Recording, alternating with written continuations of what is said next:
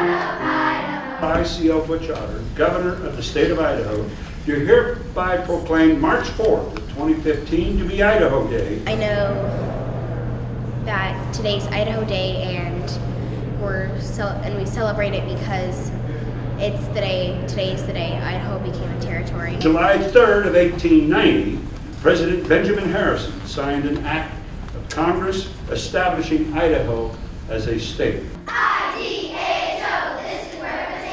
That state tree is the white pine, and that state fish is the cutthroat trout.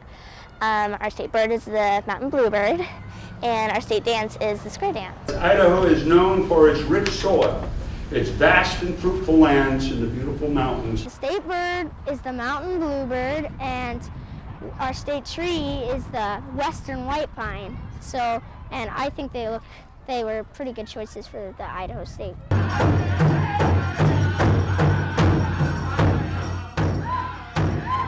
State food is the Idaho potato and the state fruit is the huckleberry. We will celebrate this year, today, on March the 4th, next year, on March the 4th, and through all generations of time. Every year on March the 4th, we will celebrate Idaho Day.